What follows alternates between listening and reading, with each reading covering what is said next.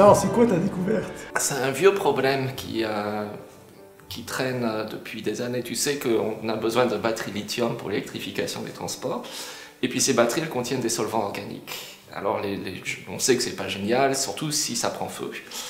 Et donc euh, les, les gens se- s'excitent beaucoup sur les batteries qui soient tout solides, sans solvant. Et malheureusement, ces batteries, elles fonctionnent pas à température ambiante. Donc il faut une batterie pour chauffer la batterie pour faire démarrer la voiture. Donc euh, nous, on a trouvé un moyen de faire fonctionner nos batteries à température ambiante. Donc c'est voilà. Ouais, génial. Ouais, c'est chouette. Ouais, ouais.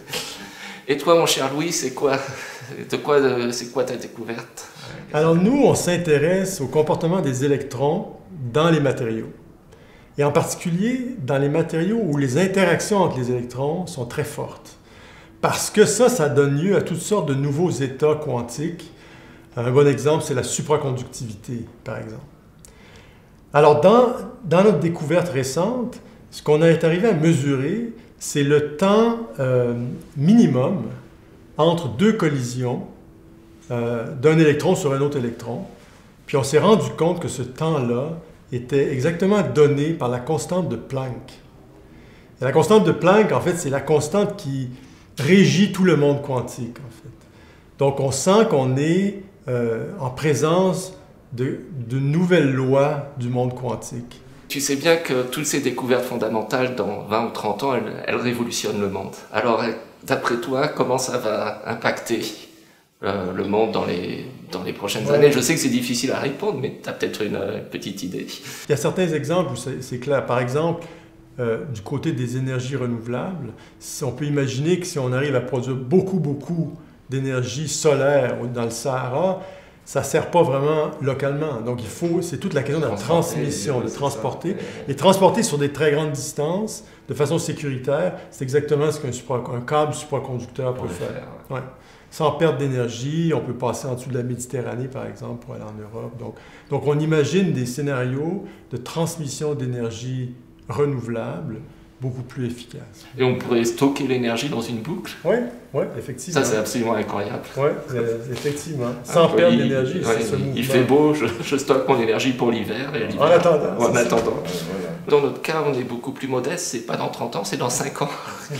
Hein, les, les- les batteries lithium, le stockage, euh, c'est vraiment une- déjà une technologie qui est Ouais. très avancée. hein. Il y en a, on- je veux dire, les- normalement, toutes les voitures sur le marché, les voitures neuves sur le marché, Ouais. dans, dans 10 ans, c'est des voitures électriques.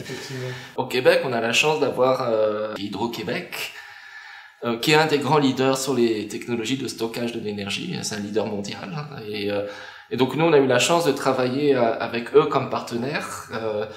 Eux sont vraiment les spécialistes du stockage de l'énergie. Nous, on est plus sur le, le matériau qui est à l'intérieur de la batterie. Mais c'est comme une chance parce que ça, ça donne un impétus euh, Ouais. à la recherche qui est tout à fait extraordinaire. Ce que j'aime de la recherche, c'est la découverte. C'est la découverte pure euh, qui vient d'une expérience, euh, découverte souvent complètement étonnante et, et qui nous met sur une piste de, de nouveaux comportements. Je suis bien d'accord avec toi, mais est-ce que tu crois pas que c'est rendu encore plus palpitant par le fait qu'on est entouré de, de jeunes? Moi, je vois pas le temps passer. J'ai Ah, toujours l'impression d'avoir le même enthousiasme qu'il y a quand, j'avais, quand j'étais aux études. Ouais. C'est, je trouve ça absolument exceptionnel. On a ce plaisir d'être euh, le matin, d'avoir un. On sait que tous les matins vont être palpitants. Mm. Et donc, euh, Entre autres par leur audace.